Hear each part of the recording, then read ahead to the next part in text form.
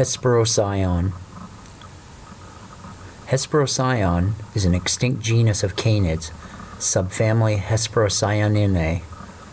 The other two canid subfamilies are the extinct Borophaginae, which Borophagus is within, and up to the living present day Caninae, which includes foxes, coyotes, wolves, and domesticated dogs. Hesperocyon was endemic to North America, ranging from southern Canada to Colorado. It appeared during the mid Eocene, existing for 11.5 million years. Hesperocyon was the earliest of the canids to evolve after the Caniformia Feliformia split some 42 million years ago.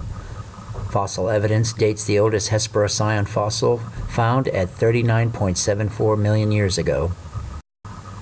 Distribution of its teeth showed it was a canid, being definitely a carnivore, and may also have been an omnivore when it came to its eating habits. Hesperocyon was 2 feet 7 inches long. It looked more like a civet than a dog. Its body and tail were long and flexible, while its limbs short.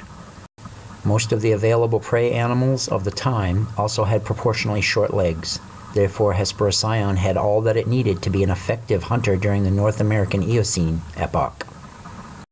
However, the ecosystems of this time were slowly changing to a cooler, drier, more open landscape. This was a very slow process that started in the Eocene that would continue all the way towards the Pleistocene. But it also forced a shift into newer, longer legged, faster animals appearing across the world. With prey that was capable of outrunning Hesperocyon, and newer, better adapted predators outcompeting it.